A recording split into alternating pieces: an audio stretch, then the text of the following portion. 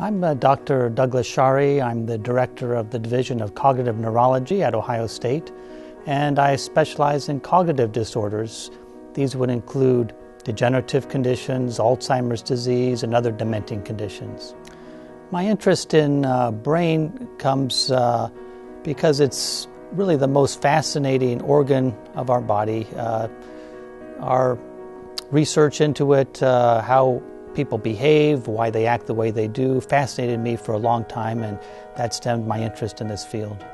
Our care philosophy uh, sort of looks at the whole patient and family as a unit.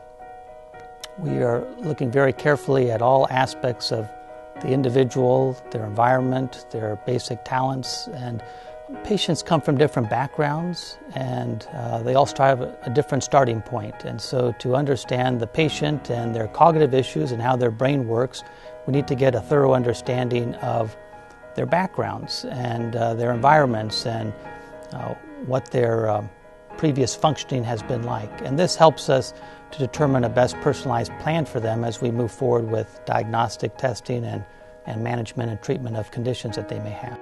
Ohio State, uh, I believe, offers not only great clinical care, but also the advantage of state of the art research.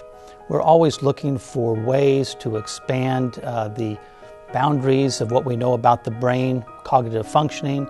We're looking for new treatments for Alzheimer's disease and other dementing conditions, and we have specific trials um, with research available for people.